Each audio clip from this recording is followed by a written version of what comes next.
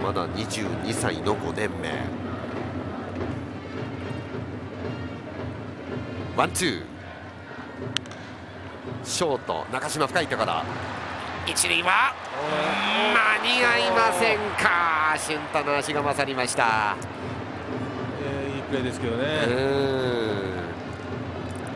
深いところワンバンの送球中田もしっかり掴んでストレッチしたんですけどもね俊太の足の速さが上回りました。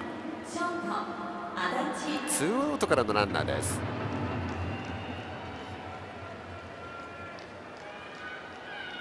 非常に運動能力が高いこの俊太です。